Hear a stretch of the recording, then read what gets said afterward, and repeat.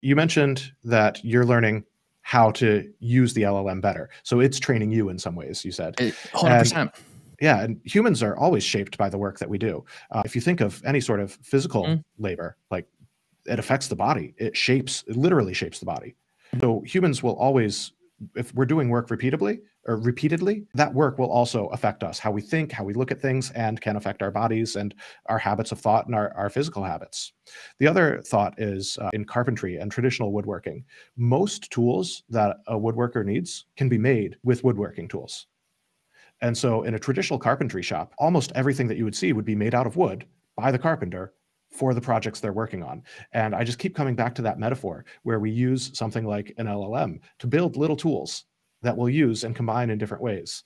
Hmm. And mm. it, it really harkens to that where we become tool makers in addition to whatever we're trying to do. We build small tools that we can use to accomplish yep. ends.